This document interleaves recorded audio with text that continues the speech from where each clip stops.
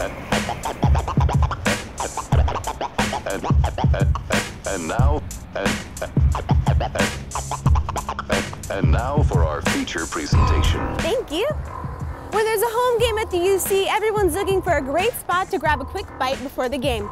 Well, just so happens the Bulls are at home tonight, and the Ogden is the perfect place to fuel up on some finger food. Go Bulls!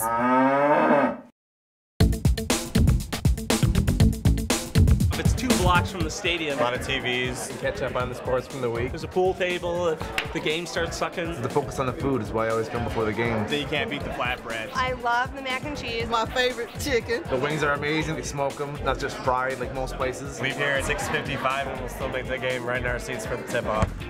Why is the Ogden one of the best game day bars? We're a chef-driven sports bar.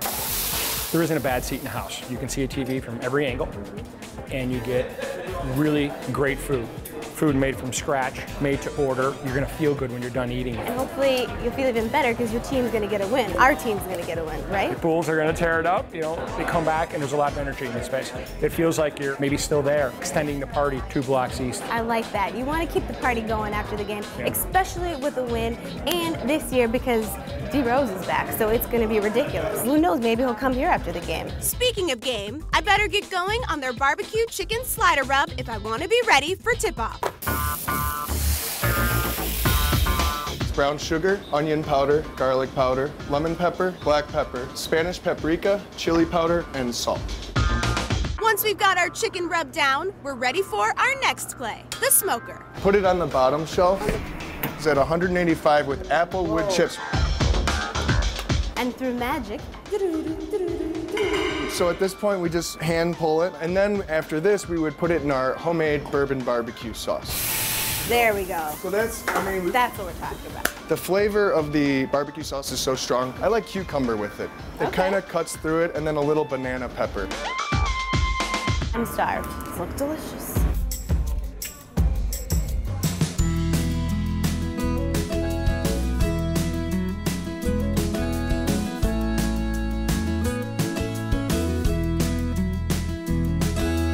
Cheers. Cheers. One up.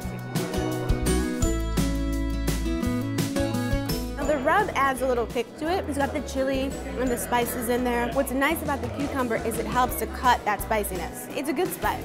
The Ogden, great spot, delicious food, perfect place to come and watch the game. Come before the game, to pregame, or after. And I'm gonna check this flatbread out. All right. Three little pigs. Pork shoulder, some bacon, some pepper, and pineapple. Shut up.